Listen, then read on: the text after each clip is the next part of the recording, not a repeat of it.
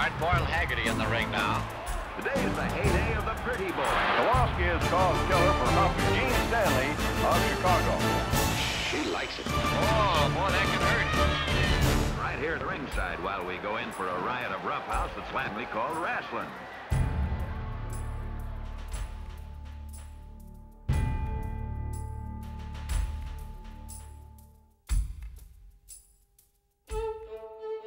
In the year 1812, the author Leigh Hunt wrote, I think the young women of this present day too forward, and the men not respectful. I hope our grandchildren will be a lot better. I wonder what in the world Mr. Hunt would have thought of this. I want to show you just how much I truly think of you, Jasmine. What would her mother say? This match I'm sure you're going to enjoy. A little rolling over. Remember this hold. You may want to try it out on your mother-in-law sometime. You'll never beat me. You'll wash my clothes. You'll wash my windows. You'll baby my diapers. You're nothing but a... The pre and post game antics on early TV were soon to closely resemble their male counterparts. You want to be an animal? I'm dressing you like animal. That's not a lady at all. It is hard to trace the actual beginning of women wrestlers in North America. But we do know that in 1890, a lady by the name of Minerva was promoted as a champion woman's wrestler. She hailed from Hoboken. Her real name was Josie. Josie was a pioneer, not only in wrestling, but also as a weightlifter, and performed feats of strength. It was not long before the drawing power of women in the ring was recognized and exploited. Wrestling was actually an established sport in North America among the native Indians when the Europeans began to settle in the 15th and 16th century. The English in North America and the French in Canada turned wrestling into a popular sport, and by the end of the 19th century, moneyed wrestling matches were in vogue. But for women wrestlers, life was a lot tougher. To start with, there were not too many women wrestlers, so like May Stein, they found themselves wrestling men. This meant women traveled long distances to face worthy opponents. This fight featured Senorita Alvarez from Argentina up against Madame Roxanne from Switzerland. After World War I, more women entered the fray. Some claimed championship titles, but the majority knew because they were women the crowds would come, and for a little flavor, they threw in mud wrestling. But during World War II, because of the shortage of men, women wrestlers became immensely popular, and with the advent of television, they became an established part of the American sports picture. Names like Mae Weston, Mildred Burke, June Byers, and the fabulous Moolah became household TV stars. But a young blonde, who was a sight to make old men young, was about to enter the arena. She was to become the first women's AWA champion. Her name, Penny Banner.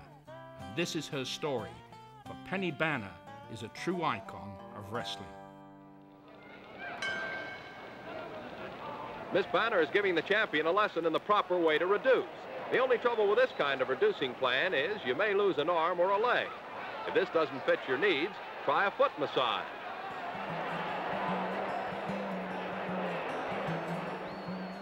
I was born Mary Ann Kostecki in St. Louis, Missouri in 1934. I was the first daughter of my father. He's full-blooded Polish. His name is Kostecki, Kazimierz Kostecki. And my mother's name is Clara Bainey. She's full-blooded German. And mom and dad went on to have uh, three more children. I was born right after the Depression. Things weren't really all that well. My father worked at a shoe company and uh, he also sold candy on the side, and mom was a full-time housewife, and, and, we had just the best time. And then one day, my daddy was gone, and I was I was 11, and my sister was nine, and my brother was seven, and my youngest brother he was one week from being born.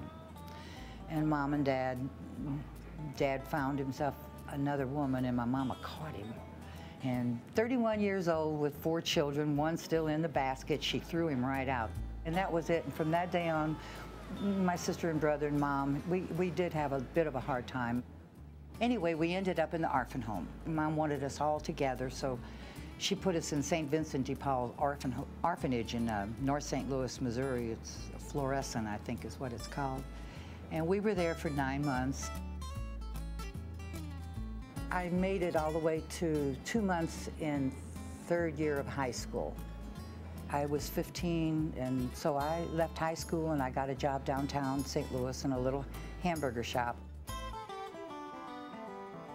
And this fellow, 21 years old, me 15 and a half, he come walking me home and he was so nice to me and and as time went on he was getting he knew I was by myself and he forced himself up into my house with me and ended up I found out he was wanted by the FBI and so we set him up and uh, we met at a movie theater and the FBI said how will we know him? And I said well um, I, we'll go to the movie theater and when he goes back to get my popcorn you can get him.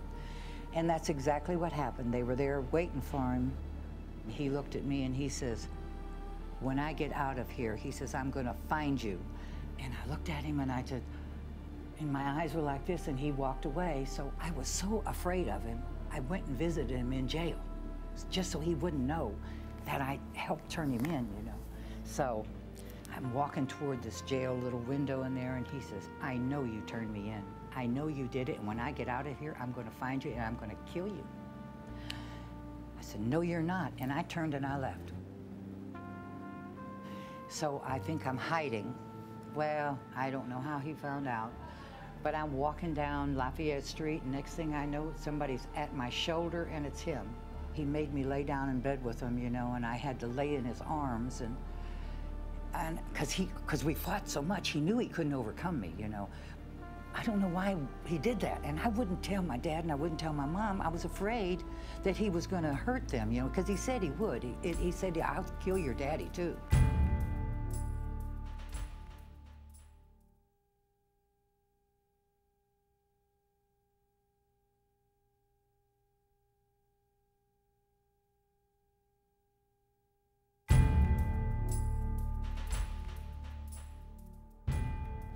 Way fate had it, where I worked was a car dealership, and there were two brothers and a sister.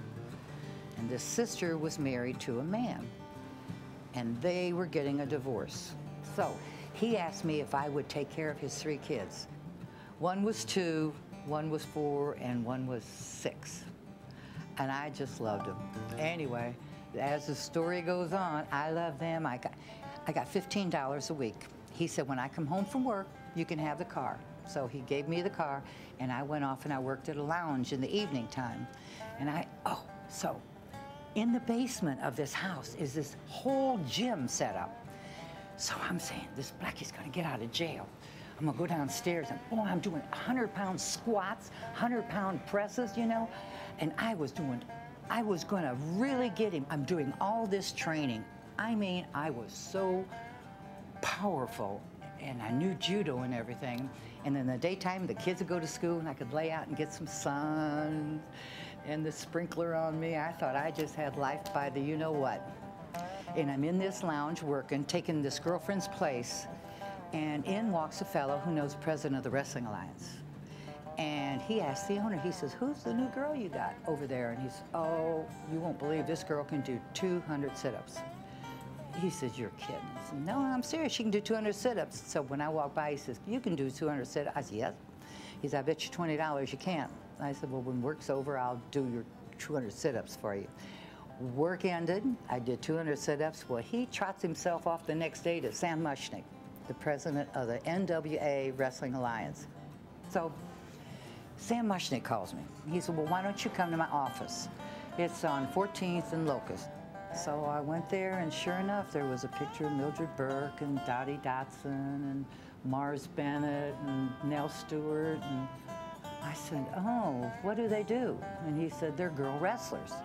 And I said, Hmm, where do they wrestle? And he says, They wrestle everywhere. He said, Would you like to be a wrestler? And I said, Well, yeah, but, you know, I don't know how to wrestle. And he said, Well, I'll tell you what, what would you think about it if we got you a train ticket to go to Columbus, Ohio to the school of Billy Wolfe's Wrestling, all girl wrestling, we'll give you $50 a week and uh, we'll give you a piece of paper saying if you don't like it, in two weeks you can come back home. I said, okay, and I was 19 years old then. I knew Penny Banner when she was 19 years old and was just starting in the profession. She didn't know who I was, and she was absolutely the most desirable female creature that I had ever seen at that time. And didn't and then I found out how tough she was, so that you know settles you down. And um, and I've known her since then, and that was in 1956. Did I just tell her age and mine?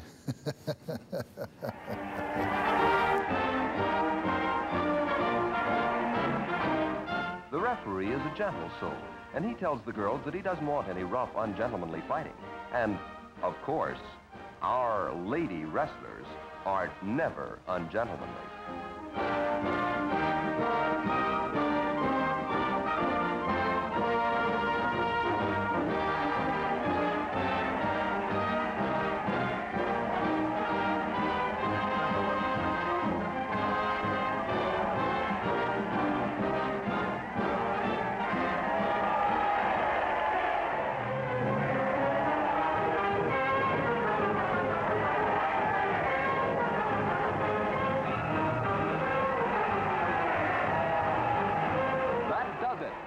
As Mae Weston and Mildred Burke fought it out for the title, it would not be long before two new names would be constant contenders for this valued prize.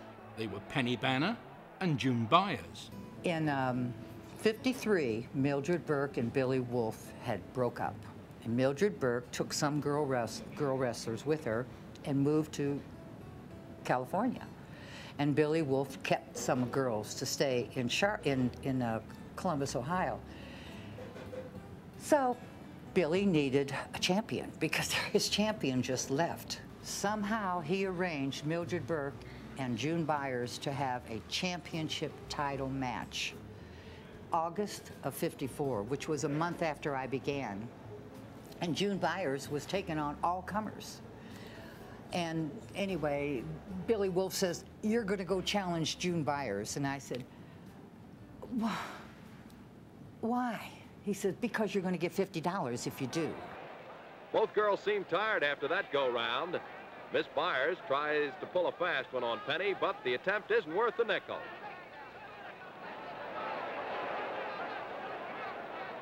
The champion has the baffled Miss Banner in a precarious predicament in the corner, but the 160-pound challenger turns the tide of battle in her direction with some bruising but illegal punishment. Proficient Penny tries to better her position, and it proves to be her downfall. Only some stiff-necked strategy saves the overconfident challenger.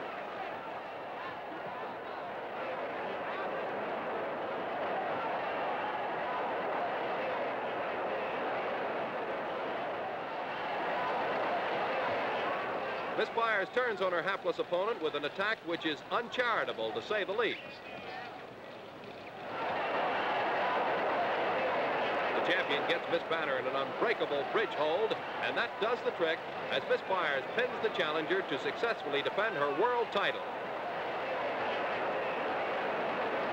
Penny is peeved by her misfortune in the ring, and she turns on the referee with all her feminine fury.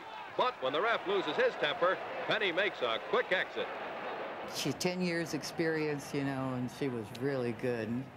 I stayed 10 minutes with her, though. I got my $50, and Billy Wolfe come up and gave it to me, and he says, you're now a professional lady wrestler. And that's what I am, or was. That's how it all began. Penny Banner, one of the greatest and, and perhaps the most popular lady wrestler of all time. And she doesn't get the credit she deserves uh, because she was, we talk about Matt and Shane wrestling, Penny had it all and never a slow moment with Penny. She was always action, always going, always on. You can tell when somebody has some sort of an athletic background, and uh, and she she just definitely had that. Her balance, her movements, uh, you know, and and the intensity that she would put things at the right place at the right moment at the right time. It was it was very very much so uh, a, a, a hell of an athlete. Just as, as soon as I met her, you know, and I knew she was going to then be quote one of the better ones. Period. Penny was the best girl wrestler that I have ever had the privilege of being in the ring with. She, uh, she had knowledge, and I learned from her.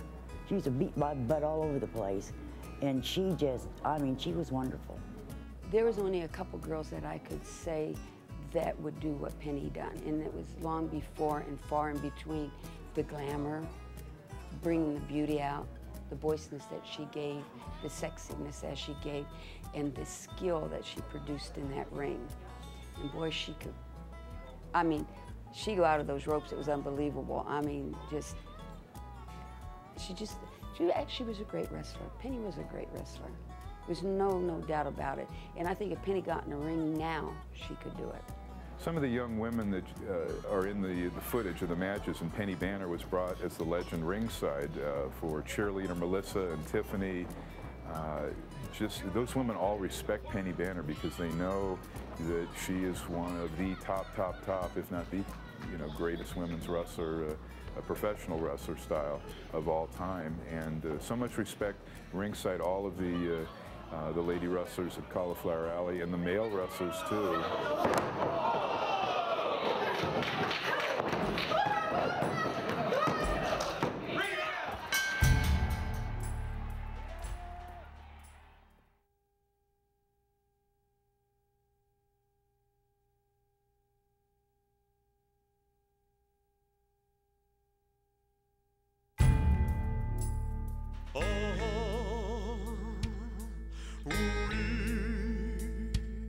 The most famous person I ever met was I was in Nashville, Tennessee, and I told this fellow, I said, I'm going to go home for the weekend and visit my mama.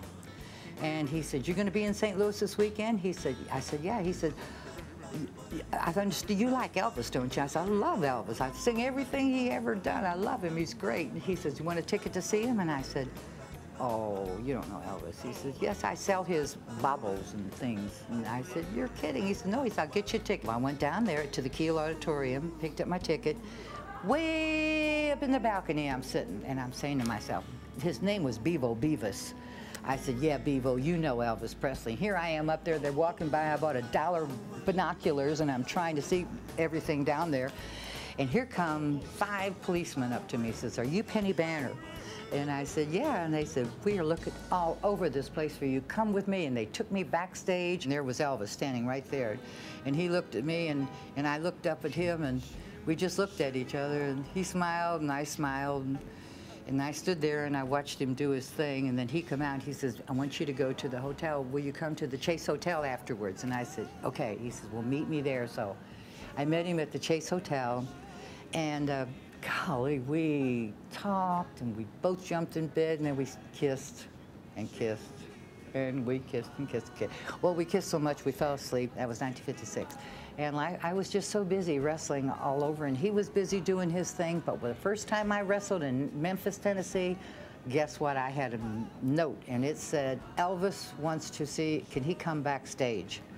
And I said, well, yeah, he can come backstage. So he come backstage. One of the girls fainted, and he says, I want you to come to the mansion. And so he took me to the mansion that night. And then every time I wrestled in Memphis, Tennessee, he came and saw me wrestle. And I think my favorite favorite deal to remember is going on a trip from her from with her from St. Joe to Calgary, Alberta.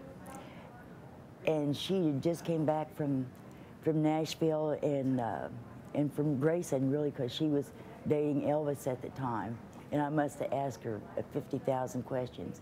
But just just that trip in general to get to know her and and see what she was really like. It was a, you know, that that friendship has lasted for years and years and years, and and she she's my hero. I thought I found the man of my life when I married. I stayed married for 35 years, but um, I just found out that life's not this little red bowl that I had pictured marriage to be. And I held on as long as I could. The best part, I had a daughter, still have my daughter, but I left my husband after 35 years, and he was a, a wrestler also. And it just, you know, there's so much temptation out there for the men. The girls throw themselves, we call them arena rats.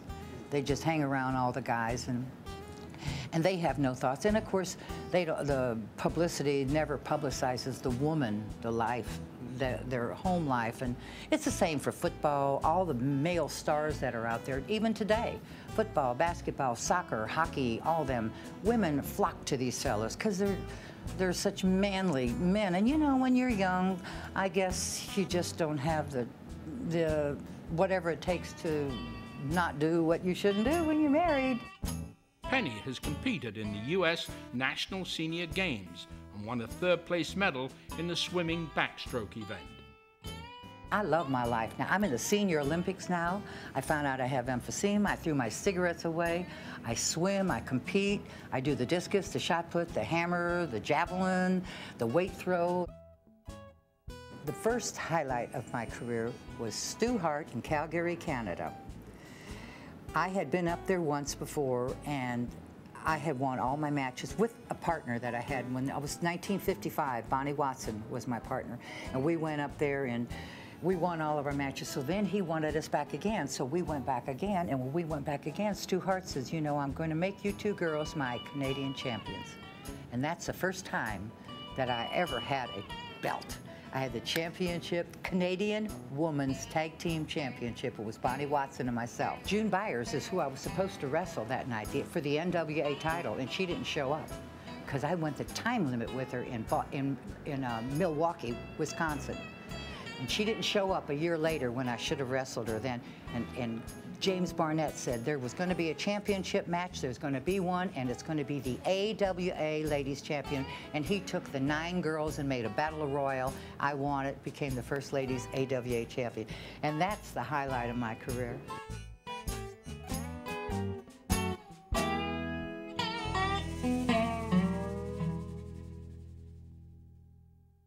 If I had to be remembered one, one particular way, I would want to be remembered as an athletic, good-looking woman, full of life, that likes to have fun. That's what I'd like to be remembered as. And I would also like to be remembered as the only first AWA Ladies Champion. it is said that age is the most terrible misfortune for mankind. This cannot be said for Penny Banner. Today, in her 70s, Penny Banner is still very active and can look back with pride on her long and distinguished wrestling career. She is the proud mother of a beautiful daughter. She is an author, having written her biography. The book is titled Banner Days. It is truly a tell all biography. She is a proud member of the revered Cauliflower Alley Club. This is the place where all the great old timers gather once a year in Las Vegas to get together and honor the past. Many young pretenders to the throne of wrestling are in attendance to pay homage and their respects to the greats of the past, without whom there would have been no future. As a matter of fact, because there was no special category for women CAC awardees, they created a special one just for Penny, awarding her the Art Abrams Lifetime Achievement Award. But on the 21st of May 2005 came the crowning moment in Penny's career as the president of the Professional Wrestling Hall of Fame inducted Penny into the Wrestling Hall of Fame. Perhaps these words sum up Penny best. Happy is the woman, and happy she alone. She who can call today her own. She who secure within can say, Tomorrow do thy worst, for I have lived today. Live long, Penny Banner.